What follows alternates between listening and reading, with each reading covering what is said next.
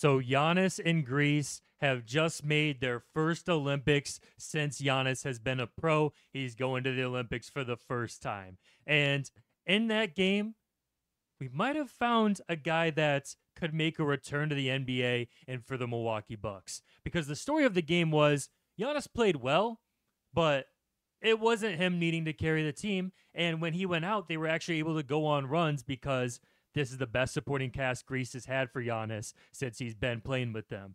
And there's a guy that really showed out today and might actually be what the Bucks need. And that's former NBA uh, player, first round draft pick, Georgios Papagiannis, who knocked down five of eight threes today. He's a big man that isn't the most athletic, but he could be more mobile defensively than a Brook Lopez and could definitely give insurance if the Bucks do move on from a Brook or a Bobby. And I was checking just to make sure. It's not just a one-time thing right here. He averages 43 44%, 44.3% from 3 in his career in the EuroLeague. 64% from the field.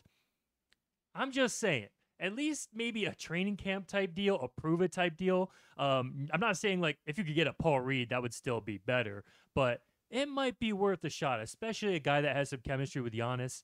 That could be a good pickup. Giorgio's Georgios Papagiannis was on the Kings and the Blazers for a little bit. Only stuck around in the NBA for three seasons. Nick Calathes also for Greece, their point guard. Uh, he could definitely be an NBA player for a team that needs him. And if the Bucks didn't get already get Delon Wright, I wouldn't be mad at them giving him a shot either because he's a true point guard, dropped a 20 piece today, and would be perfect for a team like the Suns that just needs a guy to get the ball in the hands of KD, Beal, and Booker. But doesn't seem like they're going to do that. They're going to allow Calathes to continue to just be a great overseas player.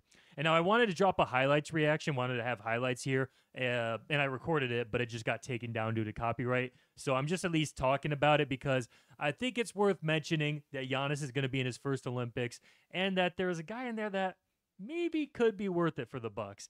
And then the last thing I want to add is that I know there's some Bucks fans that kind of wanted them to get knocked out so Giannis could get some rest. But personally, I'm a fan of not just the Bucks, but also Giannis, and I want to see him do well. And I think this Greece team could have a shot to compete against any of those other countries because he didn't. They were able to get it done against a team with NBA players: Saric, Zubac, Hezonja, and without Giannis even dominating. He was on the bench for quite a bit of time.